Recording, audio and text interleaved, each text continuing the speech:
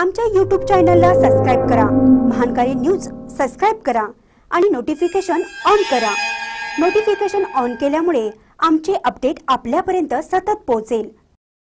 कुडचीत वीस जणांना चिकुनगुनियाची लागण शहरात सर्वत्र घबराटीचे वातावरण.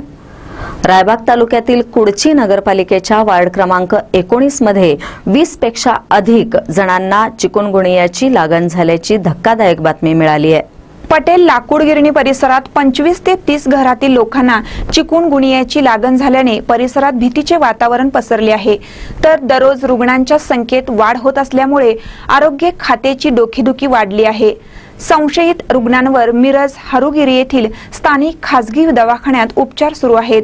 चिकुनगुनियाचा फैलाव झाल्यामुळे खबरदारीचा उपाय म्हणून कुडची शहरातील सर्वच वॉर्डमध्ये फोंगिंग मशीनद्वारे औषध फवारणी करण्यात येत आहे.